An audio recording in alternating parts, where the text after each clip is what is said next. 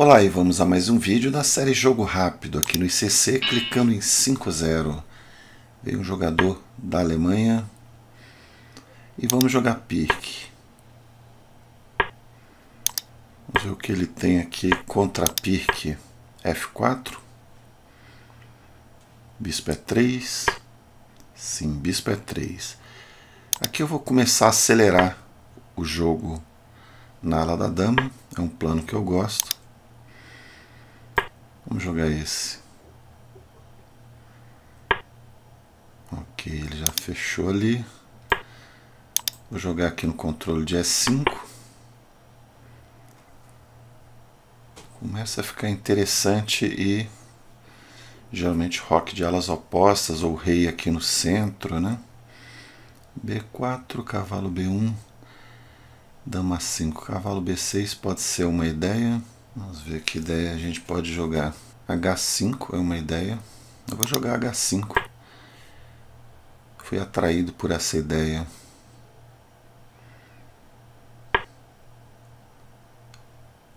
Cavalo H3. Vai plantar aqui o cavalo.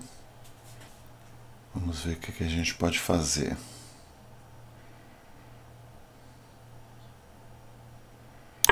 Vamos jogar B4, é o lance mais agressivo aqui disponível. Ele veio aqui, pode estar querendo capturar, né? Vou jogar esse primeiro e esse. Ataquei o cavalo. Bom, ele deixou porque ele ficou mais preocupado aqui com a ala da dama, né? vou jogar esse lance. Ah, esse é chato. Esse aí eu não vi direito. Tenho que jogar aqui. Única.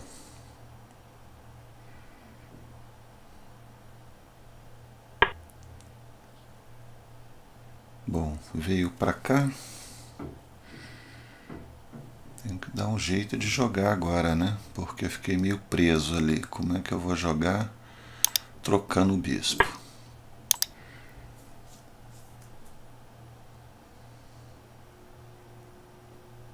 Bom, ele pode tomar e tomar o peão, mas ele não quis fazer isso. Bispo C4 pode ser. Eu vou jogar uma ideia aqui. Sei que se eu jogar bispo ele não vai capturar. Então eu vou jogar assim com a ideia de torre B6, torre A6. Por enquanto estamos aqui bem fechados, né? D5. Eu vou jogar C5 talvez. Torre A6.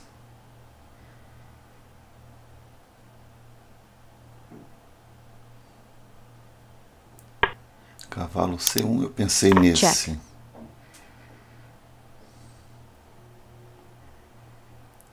Ainda tem complicações, porque eu vou só entrar aqui não vai acontecer nada de muito grave por enquanto.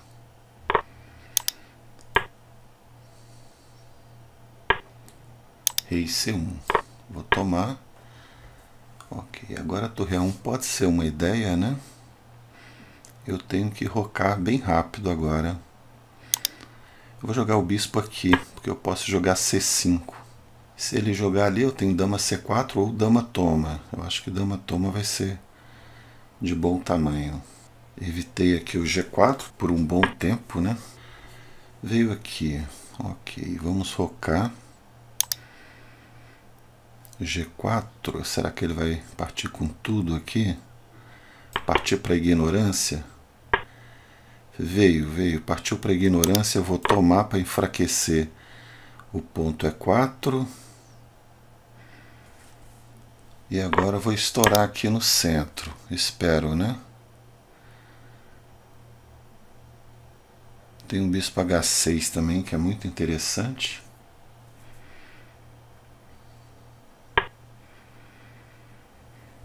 Bom, aqui... Bom, tem um cavalo G4, né? Que lance forte. Só que eu perco aqui essa possibilidade. Cavalo G4 ele vem e vai entrar aqui. A ideia dele é jogar dama aqui. Agora que eu vi a malandragem dele. Vou jogar aqui, porque aqui eu ameaço trocar. Se ele jogar aqui eu já troco. Meu tempo está curto. Ó, aqui eu já troco. O que, que ele vai fazer depois? Check. Porque está caindo peão de D5 também. Defendi. E o rei dele está frito aí, né?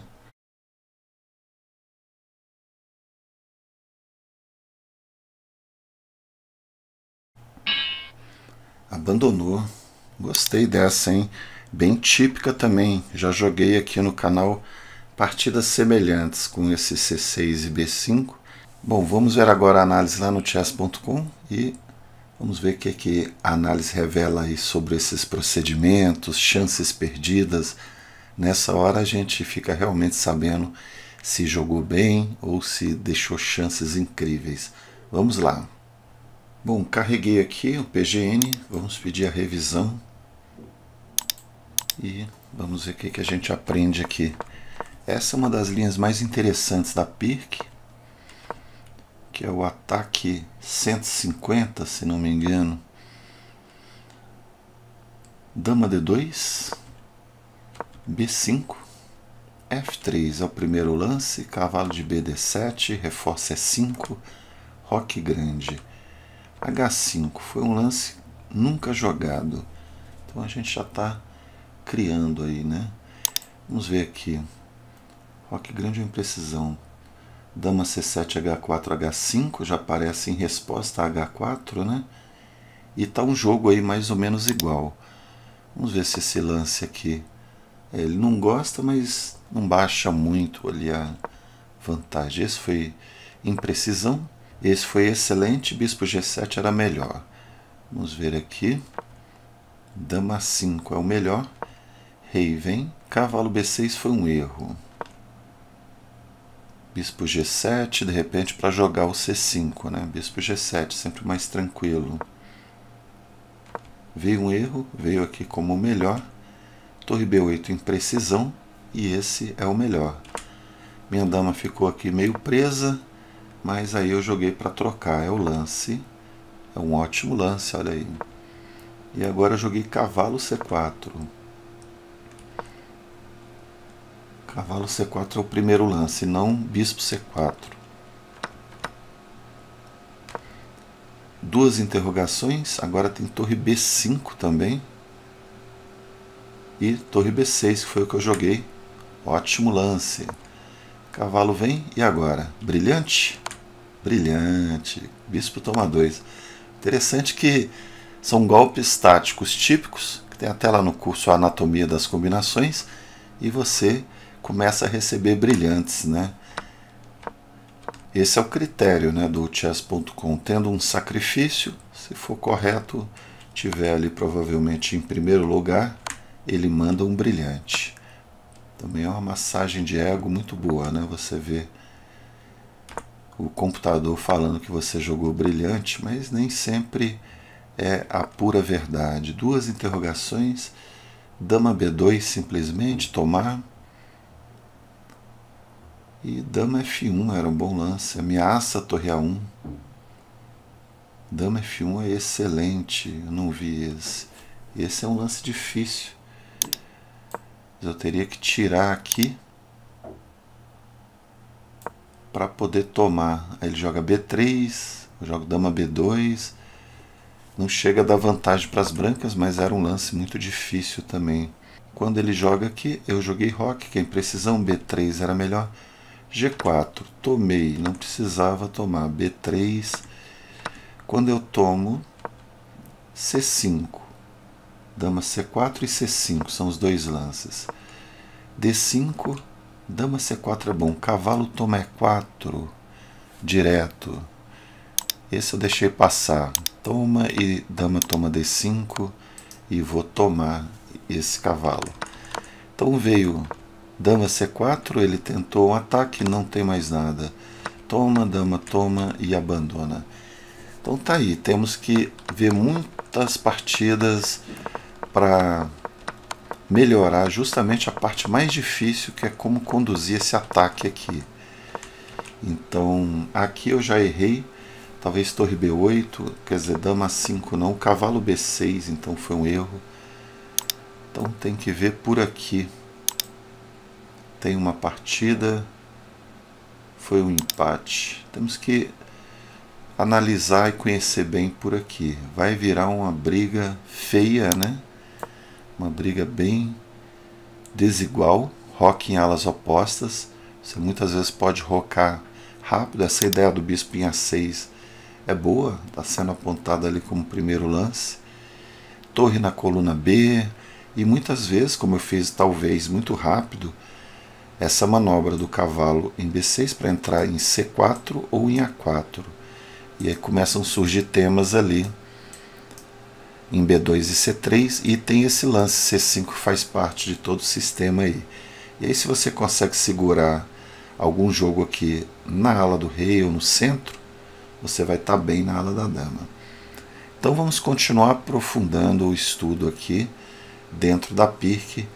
Essa partida mostra um plano todo dessa variante perigosa que é o bispo E3 ou bispo G5 também, ou F3, com ideias de dama D2 e roque grande.